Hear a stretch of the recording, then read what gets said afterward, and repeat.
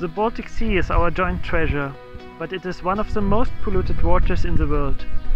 We have to work on that, and we have to find smart solutions to climate change and to improve resilience so that people keep having a good life in the region.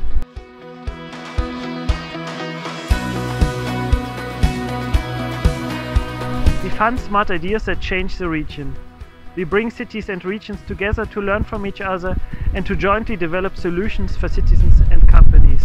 In this way we want to make the waters clearer and support the transition towards a greener and more resilient Baltic Sea region. European Commission will continue to invest in uh, partnership and transnational cooperation between countries and region within the Baltic Sea and we will continue to support the program efforts to improve the water management, the circular economy, the digital transition uh, in the region. And all these objectives are in line with the Commission uh, vision for a better future. Let's build an innovative, water smart and climate neutral region together.